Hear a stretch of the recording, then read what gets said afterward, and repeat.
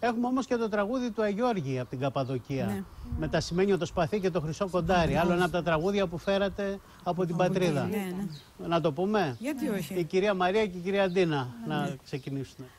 Άγιε Μαγιόρια φέντη μου, χρήσε μου καβαλάρι Αρματωμένο με σπαθί και με χρυσό κοντάρι Αρματωμένο με σπαθί και με χρυσό κοντάρι.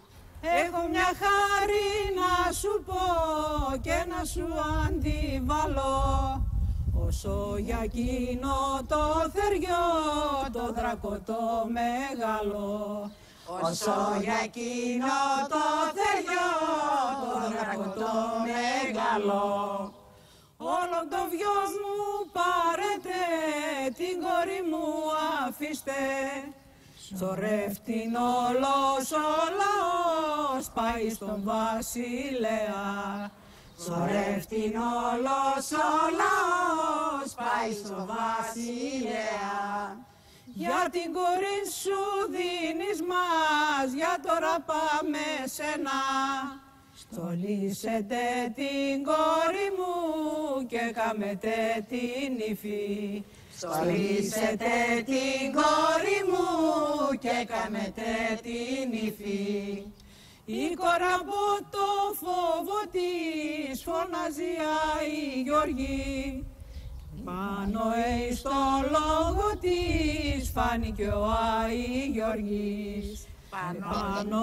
Εις το λόγο της φάνηκε ο Άι Γιώργης ο δρακόντας τα δόντια του για μένα τα τσιρίζει.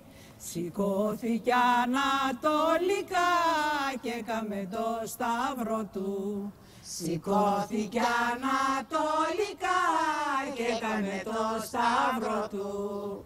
Μια κονταριά το ρίπησε και πήρε το λαιμό του Τσιπάνε κορέμ στη μάνα σου, πάνε στα γονικά σου.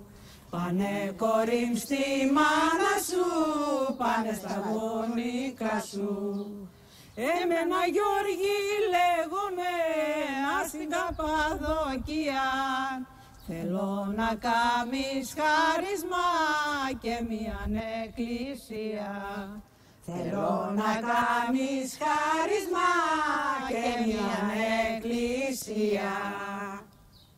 Εμένα Γιώρη λέγομαι από την Καπαδοκία. Αν θες να κάνεις χάρισμα, χτίσε μια εκκλησία λοιπόν. Από τα τραγούδια τα παλαιότατα της Καπαδοκίας που έφεραν μαζί τους οι πρόσφυγες από την Καρβάλη, από τον Γκέλβερη στη Νέα Καρβάλη